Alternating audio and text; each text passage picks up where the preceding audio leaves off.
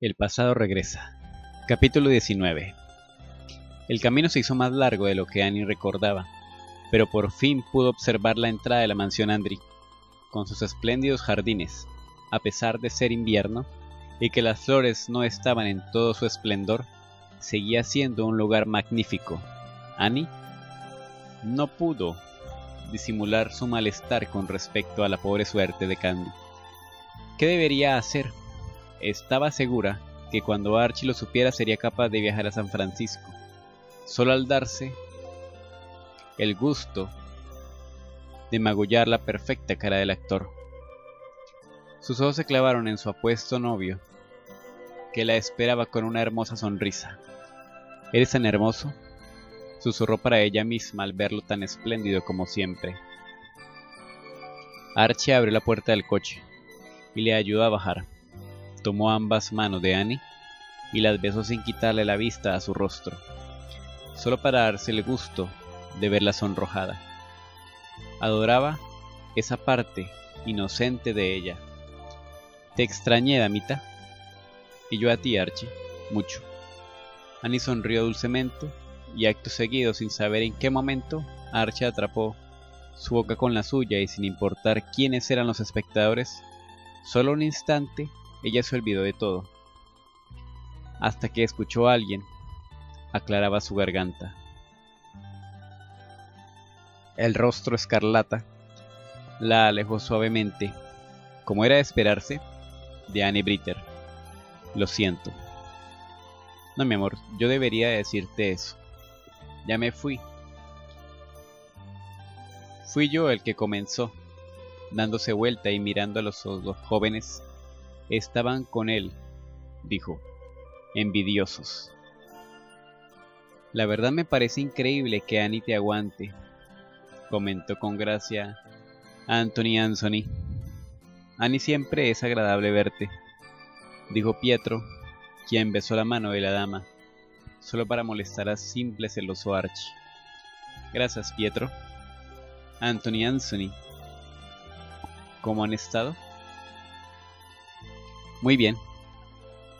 Annie, dichoso de volverte a ver, ya que mi primo se está volviendo algo insoportable, exagerado. Fue la única contestación del menor de los Corwell. Vamos. Vamos adentro, Annie. Ya está todo listo, un cuarto para que pase la noche aquí, y mañana te acompañaré a tu casa. ¿Estás de acuerdo? Sí, Archie. Muchas gracias.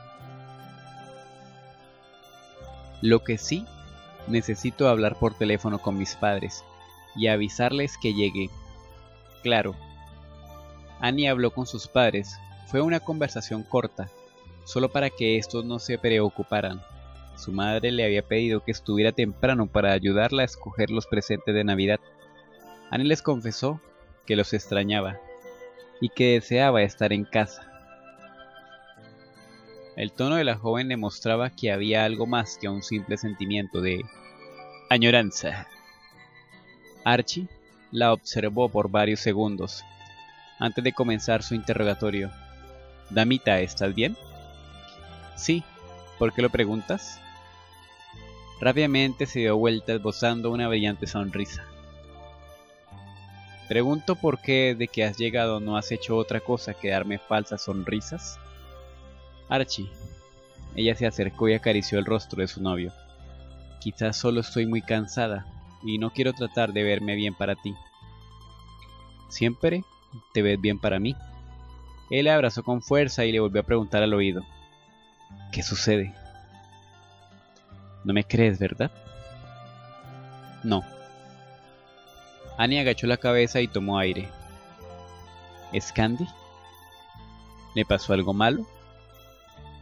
No. Bueno, quizás sí. No te entiendo, Annie, explícamelo mejor.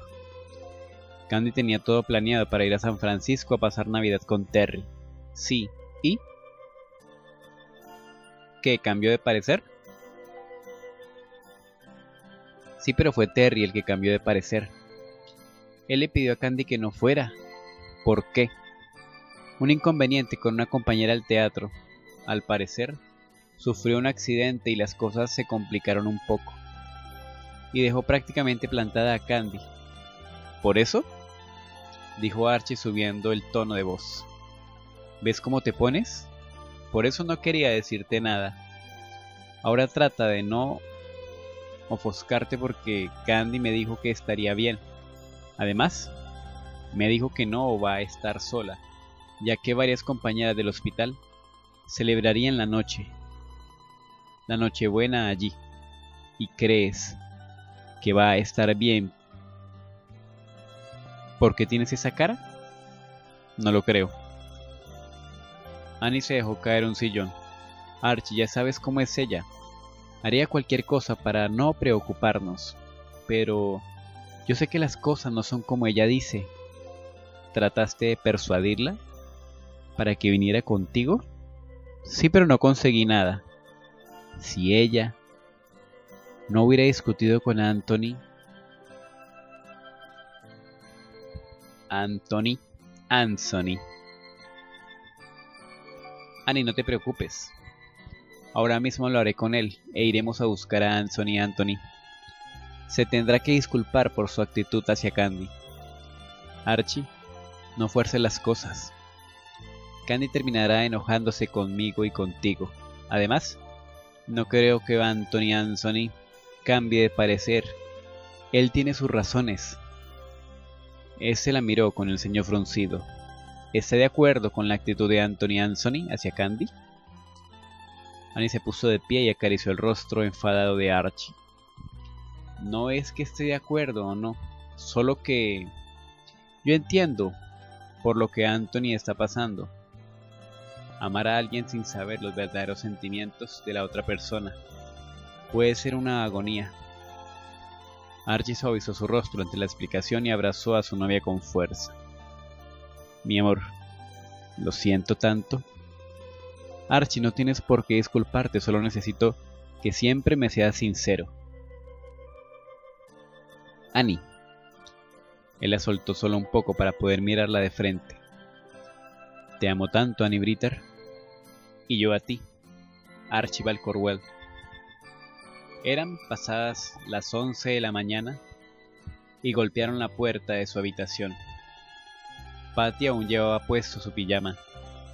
Hacía dos días que había decidido tomarse unos días para estar acostada con el pretexto perfecto de sentirse mal. Se excusó con Albert para no acompañarlo a varias reuniones sociales que éste tenía. Al abrir la puerta, se encontró con el mismo botón que parecía estar a su completa disposición. Patty le sonrió y éste le hizo entrega de una gran caja decorada con un moño de rasgo negro. La joven agradeció y le ofreció propina, la cual éste rechazó y con un simple reverencia se marchó. Patty apoyó la caja sobre su cama y tomó la tarjeta que tenía al costado presente. Espero que te encuentres bien. Recupérate pronto. Y tener el placer de tu compañía mañana a la noche. Tu amigo, Albert. Al abrir la caja se encontró con un vestido de dos tonos. Uno de ellos color melocotón, oscuro, y por encima de este, una finísima gasa negra bordada con piedras en cada volado, pequeñas mangas y muy entallado.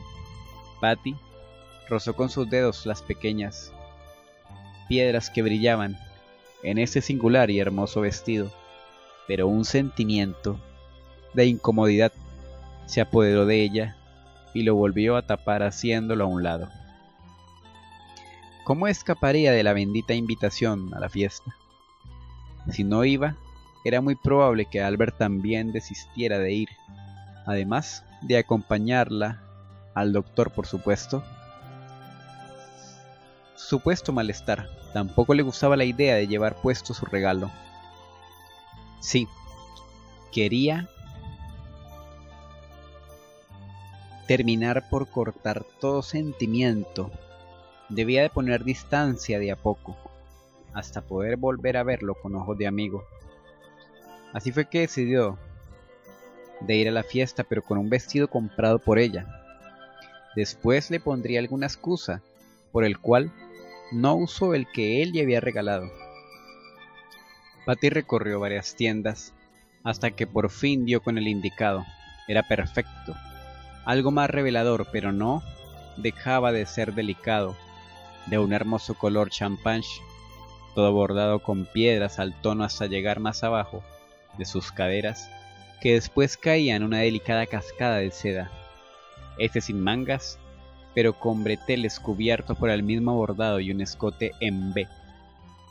Patty se lo probó, y para su sorpresa, le quedaba de maravilla. La vendedora arregló algunos detalles y le mostró algunos delicados accesorios con los cuales el vestido combinaría. ¿No cree que tengo demasiado gusto para usar esto? Lo último que quiero es parecer vulgar. La vendedora sonrió y le expresó su parecer. Querida, un vestido a un Mariano Fortuny jamás será vulgar. Pero creo que tengo demasiadas curvas, quizás otro diseño, algo más. ¿Soso? preguntó la mujer. No, algo más sencillo, algo más yo. Déjeme decirle algo, señorita. Varias mujeres han venido y se han probado este mismo vestido, y ninguna se ha atrevido a usarla. Todas con diferentes excusas. Si quiere puede probarse todos los vestidos que están en la tienda, pero aún así va a querer usar este. Déjese de preocupar. Usted es joven y bonita. Además, ¿no cree que ya es hora de dejar de ser tan... usted? Sí, dijo Patty, con determinación. Lo llevaré. Bien, pero tendrá que quitarse esto. La vendedora despojó de Patty sus anteojos. Está bien. Está bien quererse ver sofisticada e inteligente, pero lo que buscamos ahora es que se vea sexy. Le dijo esto susurrando, con una mirada cómplice. Patty levantó su cabello como llevando un completo recogido y quedó satisfecho con lo que miraba. De pronto escuchó una voz que se le hizo familiar y corrió de vuelta al vestidor dejando a la vendedora totalmente consternada. Volvió a salir de allí, ya cambiada como había llegado. Para su mala suerte, al abrir la puerta se encontró con Victoria Johnson. Esta la miró de arriba a abajo. Parecía que esa costumbre no se le iba nunca. Patricia, ¿verdad? Sí. ¿Cómo está? Bien, querida, pero no seas tan formal conmigo. ¿Quieres tutearme? Se acercó para darle un beso, de lo más falso. ¿Qué haces aquí? Creo que lo mismo que usted, eligiendo un vestido para la fiesta de este sábado. Sí, ¿ya se encontrado algo? Preguntó la rubia tratando de ver hacia adentro del vestidor, en busca de la lección de Pat.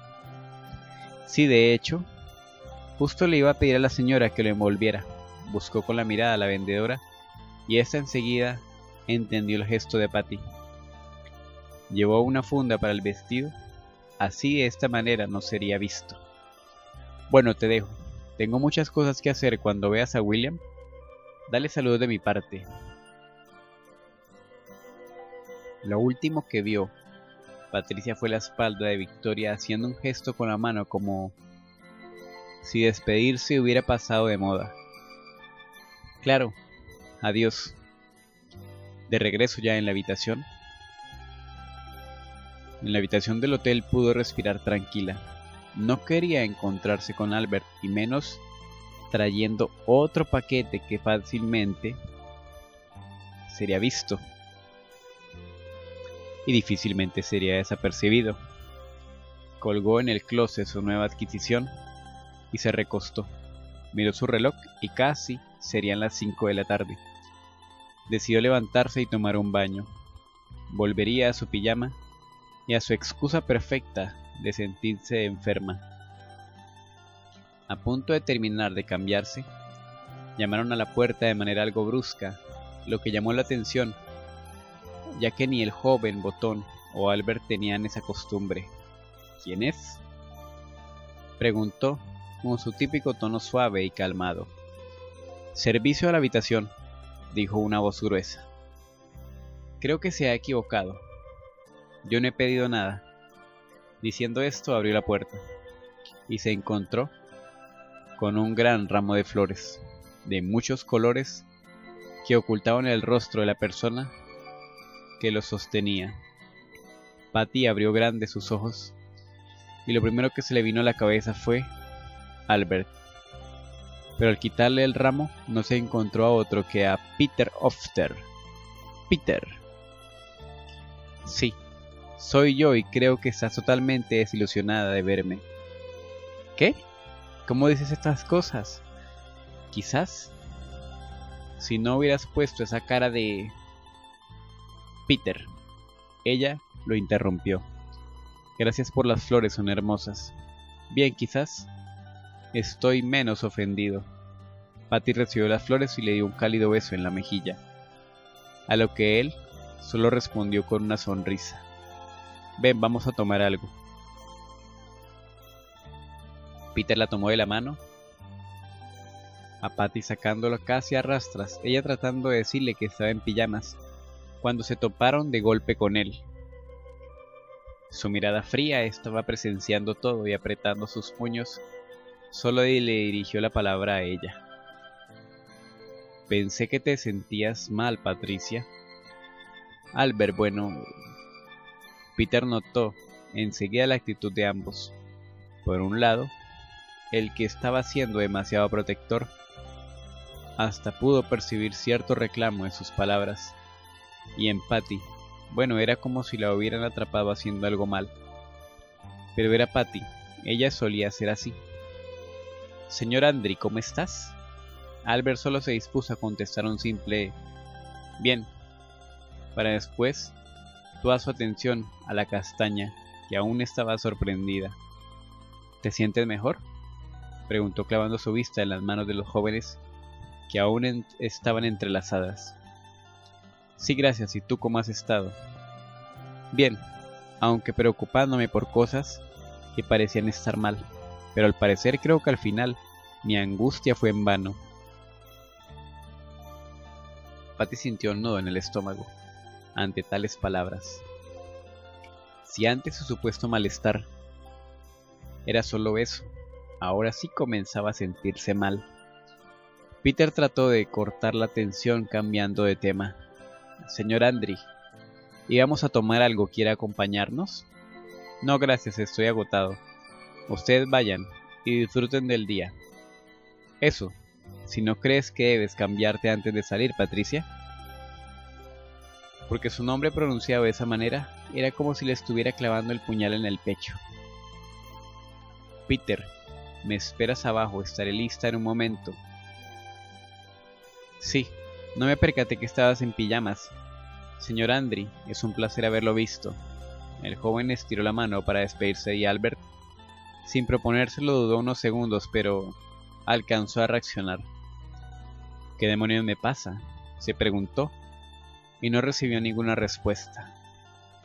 Vio alejarse al joven Hofster, y se quedó a solas con ella, la cual le regaló una sonrisa tratando de romper toda la actitud fría de parte de él.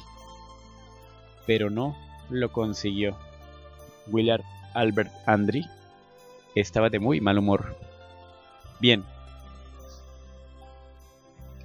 Creo que debo de ir a cambiar. Se dio la vuelta y cuando estuvo a punto de entrar a la habitación sus palabras de Albert la detuvieron. ¿Recibiste mi presente? Oh sí, Muchas gracias, pero no debiste hacerlo. ¿Te gustó? Es bellísimo, Albert, pero...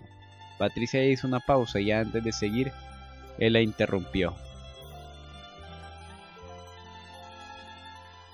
Mañana te estaré esperando a las 8 de la noche en el lobby. Albert se dio la vuelta y comenzó a dirigirse hacia su habitación. Antes de entrar le dijo, Creo que mis constantes invitaciones solo han empeorado las cosas. Por eso Directamente no veremos mañana.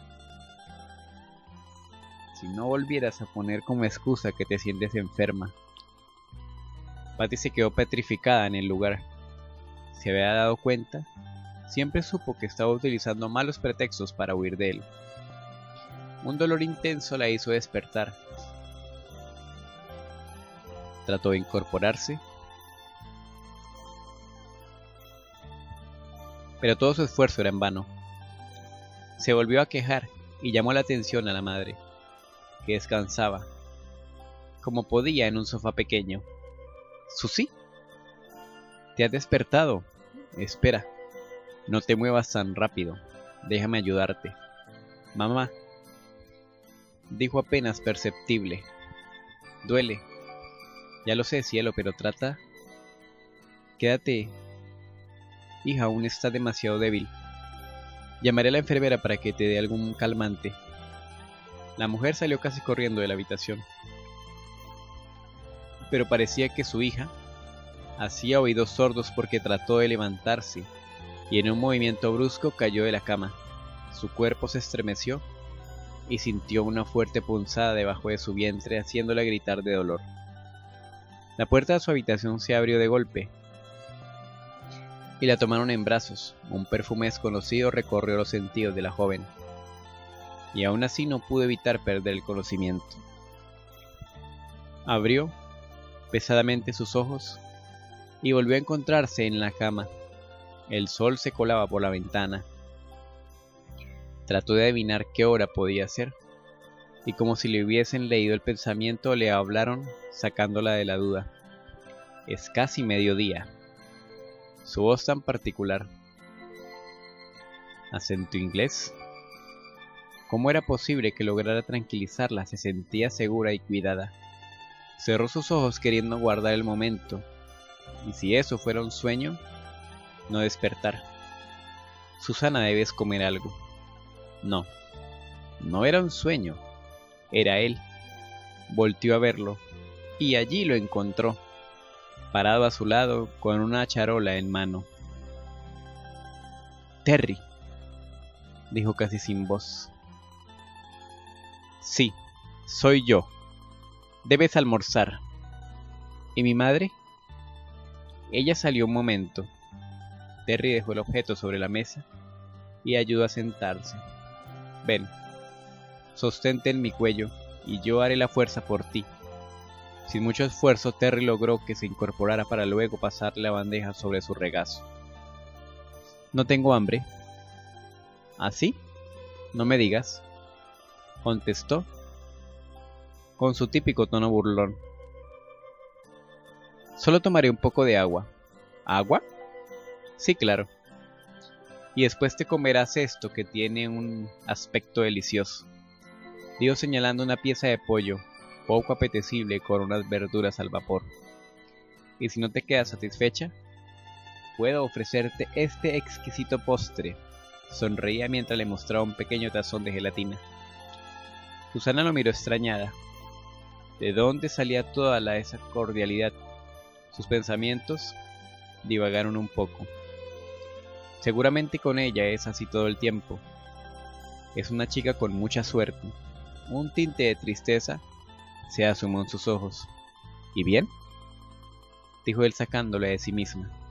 Está bien, pero solo un poco y luego te vas. ¿Me estás echando?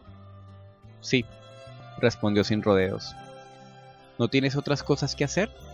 ¿Ensayar, por ejemplo? Robert cambió los horarios. Hizo una pequeña pausa antes de continuar. ¿Te molesta verme? Porque lo último que quiero es incomodarte. Solo lo observó y suspiró hondo. ¿Es si acaso? No se daba cuenta por él mismo lo que provocaba su cercanía. Porque no era solo incomodidad, ella quería que todo sentimiento hacia él desapareciera y si lo tenía cerca no podría estar. Estaba en juego su corazón. No lo expondría a ser rechazado una vez más. Susana se convenció que merecía ser amada igual o más de lo que su tormento amaba a su señorita Pecas. ¿Cómo había oído llamarla en más de una ocasión? Yo... Susi. Fueron interrumpidos por la madre que estaba encantada de verla sentada y comiendo. Querida, ¿cómo te sientes? Mejor, mamá. Qué bueno. Qué bueno que llegaste porque Terry tiene que irse y no quería hacerlo y dejarme sola. Terry la miró con el ceño fruncido. Se podría decir que un poco molesto. Oh, Terrence, muchas gracias por haber acompañado a Susana. Me imagino que tienen muchísimas cosas por hacer. En realidad, estaba a punto de ceder, pero le divertía la situación. En realidad los ensayos comienzan a las 2 de la tarde, así que puedo quedarme un rato más. El cuerpo de la actriz se tensó, de tal manera que el poco humor que tenía se esfumó en un 2, 3. La puerta de la habitación se abrió. Una enfermera de mediana edad entró dejando un sobre en la mesa con utensilios que servirían para la revisación habitual. Después de tomarse la temperatura y checar la presión de la joven rubia, comenzó el extenso cuestionario. Si sentía o no dolor y en dónde, cómo había dormido, si tenía mareos, náuseas, etcétera, etcétera, etcétera. Parece que todo está en orden, señora Marlowe. ¿Podría usted acompañarme? En administración necesitamos que firme unos papeles. Claro. Susy, ya vengo. Sí, mamá. Una vez que la señora Marlowe cerró la puerta detrás de ella, Terry se acercó hasta la cama de Susana, la cual trataba de comerse la gelatina sin poner caras. ¿Cuál es el apuro de deshacerte de mí, señorita Marlowe? Terry, ¿no tienes otras cosas que hacer? Algo como, no sé, ir a ver a tu novia, por ejemplo. Ella está en Chicago. Entonces ve con ella. Terry suspiró derrotado. Bien, Volveré en la mañana. Adiós. No. Se apresuró a decir Susana. ¿Por qué lo haces? ¿Por qué de repente te comportas de esa manera? Si es por lástima. ¿Lástima? No, solo estoy tratando de comportarme como un amigo. Susana nunca se imaginó que de boca de Terrence Granchester la palabra amigo sonara tan sincera, pero terriblemente dolorosa.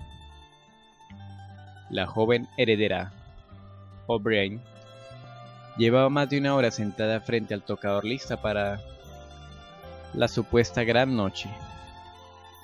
Si tuviera el valor de Candy, de seguro que ya se hubiese escabullido y estaría en un tren camino a Londres.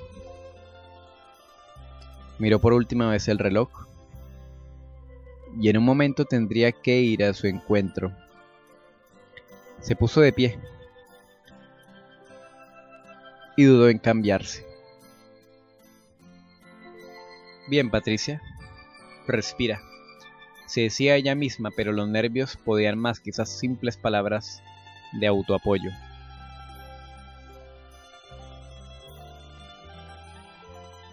Lo harás. Bien. Solo un par de horas. Por otro lado, Albert, que estaba esperándola, tampoco estaba tan tranquilo. Después de haberla encontrado de la mano de Peter Hofter, no volvieron a verse. Esa misma noche, Albert decidió que tomaría distancia después de acompañar a Patty. A Londres, él volvería a Estados Unidos. Sería lo mejor. Construir una muralla lo suficientemente alta y fuerte Así con el tiempo olvidaría las locas sensaciones que Patty provocaba en él. Totalmente distraído en sus pensamientos arquitectónicos.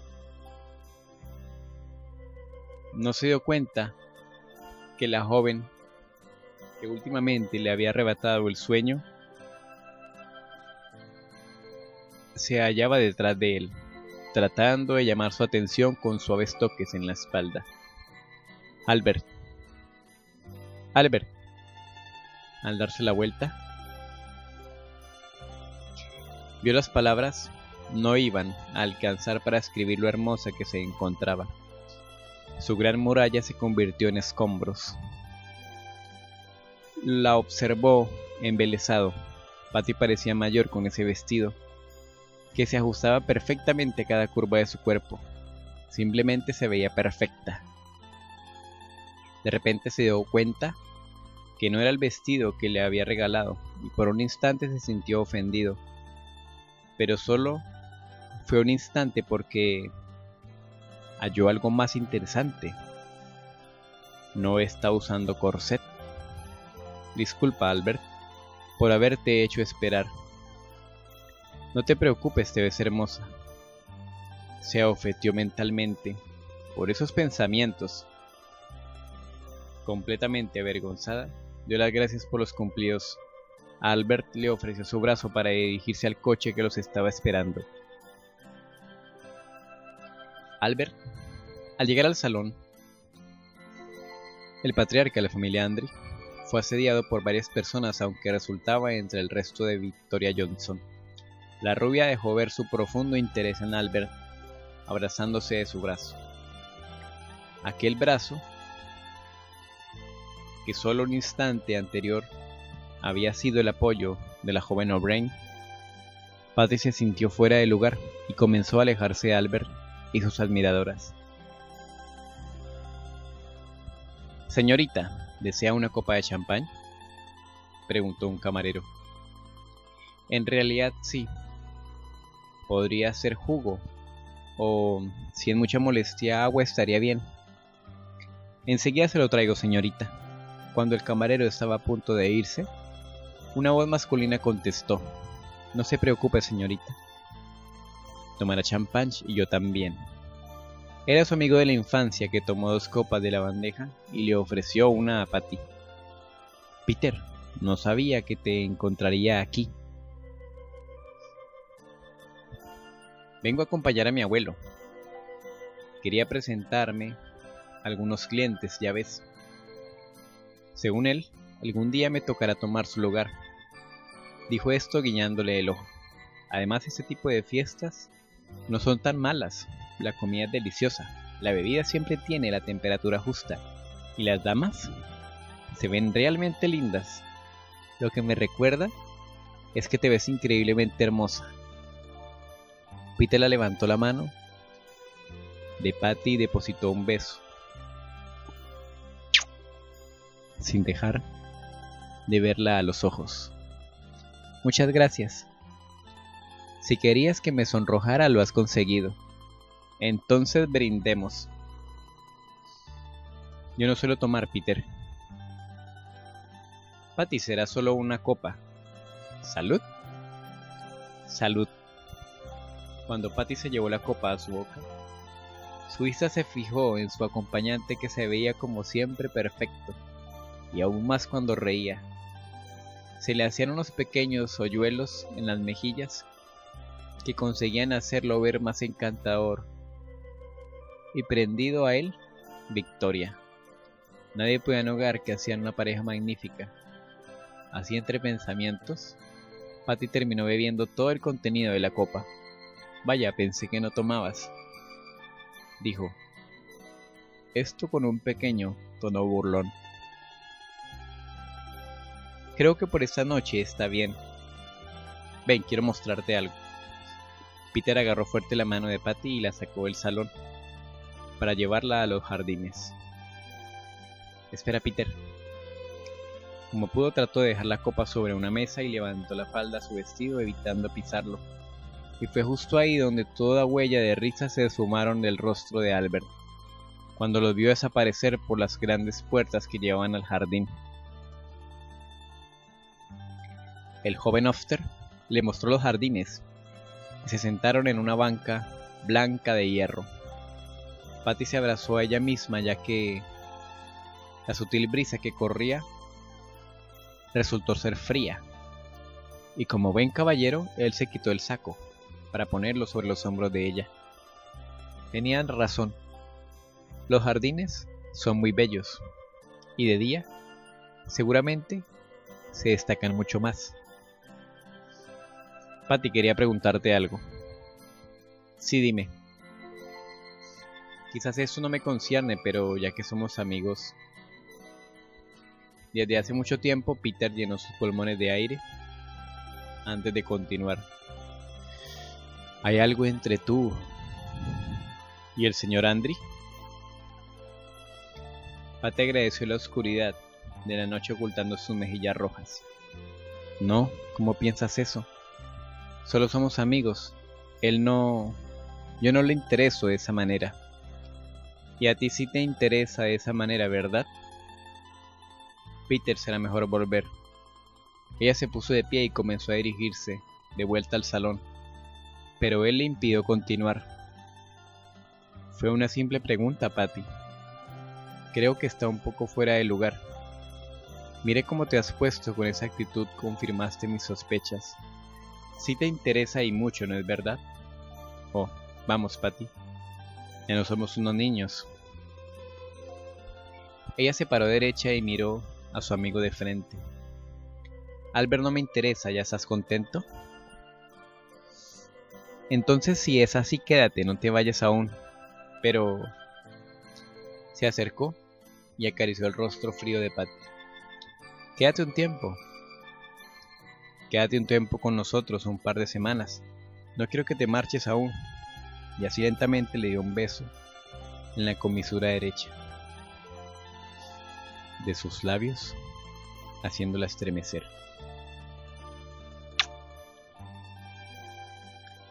El viaje camino al hotel fue en total silencio. Patty no sabía por qué, pero Albert se notaba enfadado, muy enfadado. Al llegar a sus habitaciones, se saludaron cordialmente como siempre, y él esperó a que ella entrara para poder hacerle lo mismo.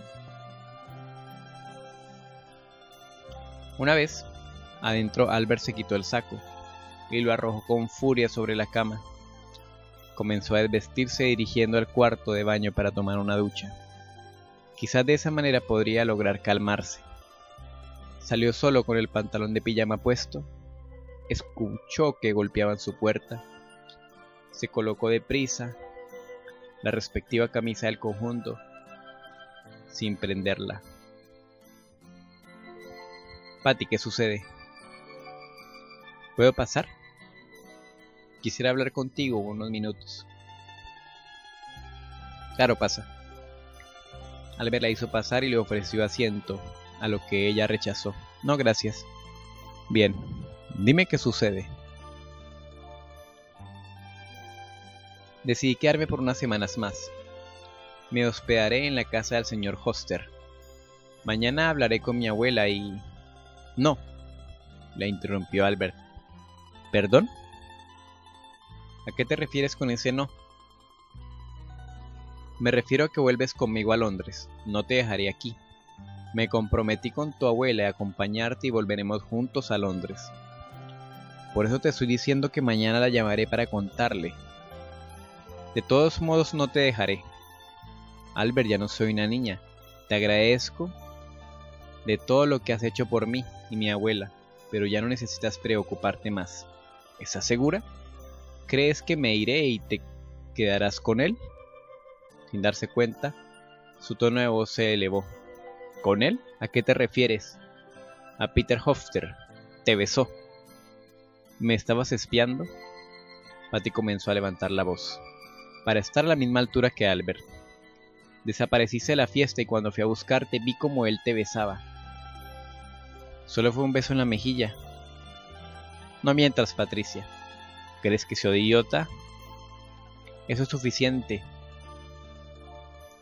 Patty caminó hacia la puerta y cuando la abrió, automáticamente Albert la vio cerrar, quedando Patty entre la puerta y la espada a él.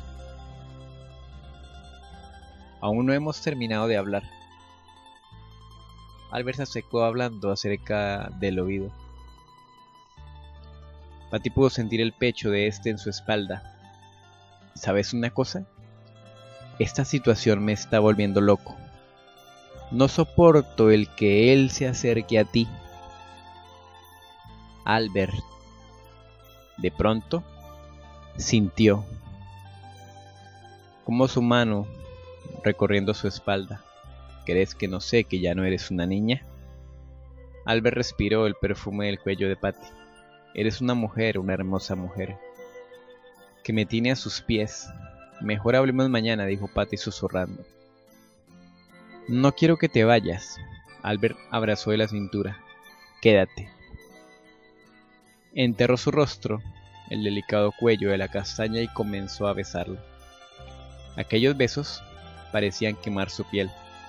Eran calientes y húmedos. Un verdadero delirio para sus sentidos.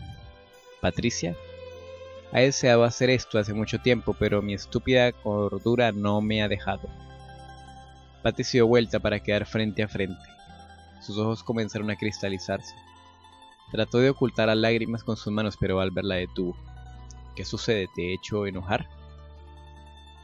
Ella solo negó con la cabeza. Tengo miedo que mañana te arrepientas y... Albert no la dejó continuar porque la besó de una manera tierna, pero con una necesidad de hacer la suya y no soltarla jamás. Cuando Patty abrió su boca para recibir su lengua, Albert cayó en cuenta en que no habría vuelta atrás, que lo que estaba haciendo estaba en contra de sus principios de caballero, pero en lo más profundo de su ser, agradecido perder toda la coherencia posible. La apoyó contra la puerta y Patty soltó un pequeño gemido al sentir toda la masculinidad de Albert en su zona más sensible. Me vuelves loco, te deseo. El fuego interno que ambos estaban experimentando en ese momento solo podía ser saciado de una manera. Patty lo separó un poco de ella y llevó sus pequeñas manos hacia su espalda, bajo la cremallera del vestido, que por el mismo peso de la tela bordada cayó sin más, dejando al descubierto los blancos senos de Patricia O'Brien. Arbe la arrebató, haciendo que ella rodeara su cintura, sus piernas, la llevó hasta un escritorio depositándola delicadamente y volviendo a la tarea de besarla. Comenzó a bajar, dejando un surco de deseo incontrolable. Ahora sí, el patriarca de la familia Andri desechó toda razón, lógica o sentido común. En ese momento solo eran ellos dos. Ahora Albert le iba a mostrar que él era la cabeza de la familia. Albert besó sus senos, de la que en unos instantes se convertiría en su mujer, suya por derecho de piel. No habrá amigo de la infancia, sobrino, nadie que la separe de él.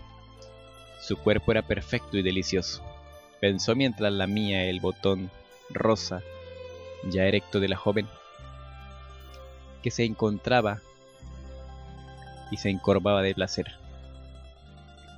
Albert consiguió decir con dificultad, Shh, no digas nada.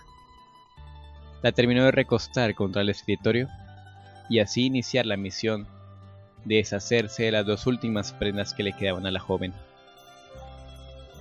Primero, unas finas y suaves medias de muselina y otras diminutas bragas de encaje y raso que llevaban a cubrir sus nalgas. Algo bastante extraño para la época. Pero antes de continuar, Albert hizo un camino de besos hasta llegar a las caderas de Patty, y allí, justo en su lado izquierdo, encontró lo que seguramente era una mancha de nacimiento con forma de manzana. Él levantó una de sus cejas, sorprendido por el hallazgo, y sonrió de lado antes de darle una suave pero significativa mordida, dejando marcas en la delicada piel de Patricia y sacándole exquisitos gemidos que eran música para él. Después de retirar todas las piezas, tenerla totalmente desnuda sobre el escritorio, él comenzó a liberarse de lo que le molestaba. Una camisa desprendida y un holgado pantalón pijama. Patty se incorporó un poco y pudo verlo automáticamente.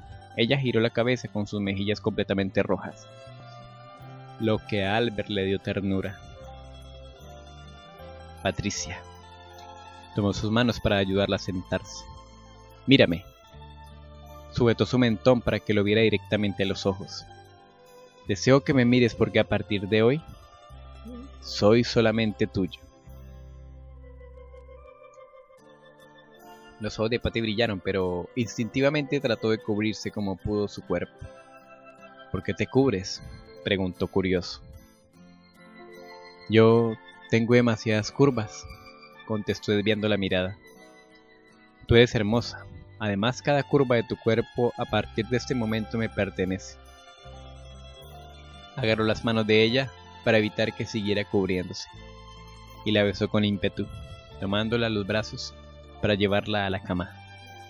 Allí Albert le abrió las piernas, viendo su monte de Venus, listo para él. Se agachó y lo probó. Lo besó, lo lamió. Patty soltó un fuerte gemido, llevándose las manos a la boca para acallarlo. Él la sintió lista y se colocó entre las piernas de ella.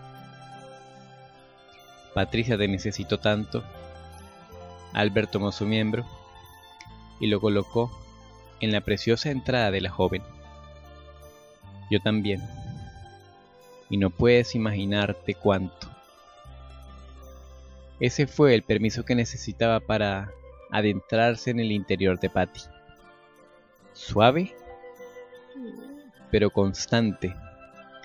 Sus cuerpos se acoplaban a la perfección llevándolos a ambos al paraíso. Patty experimentó un millón de sensaciones nuevas y fabulosas. A su vez, Albert encontró en ella una amante maravillosa e increíblemente deseable.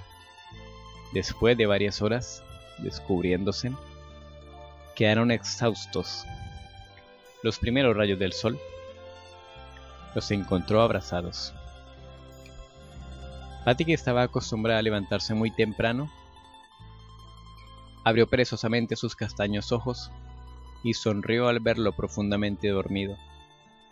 Buscó con la mirada un reloj y lo halló a pocos centímetros de ella, pero en la posición en la que estaba parecía que fueran metros. Trató de estirarse para alcanzarlo, pero una mano atrapó la suya. ¿A dónde cree que va, señorita O'Brien? Albert. Lo siento, desperté. No importa. La giró y se colocó encima de ella tratando de no presionarla demasiado. Aún no contestas mi pregunta. Quería saber la hora. Ven, mi pequeña. Luego Albert y ella tuvieron sexo mañanero. Mi amor, vamos porque vamos a hacernos la mañanera.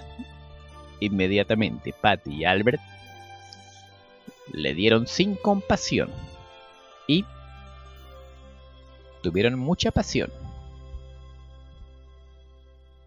¿Y para qué? ¿Acaso piensa subir de mí? le dijo mientras mordisqueaba el lóbulo de su oreja, sintiendo con el resto de su cuello Claro que no pensaba huir. Jaja.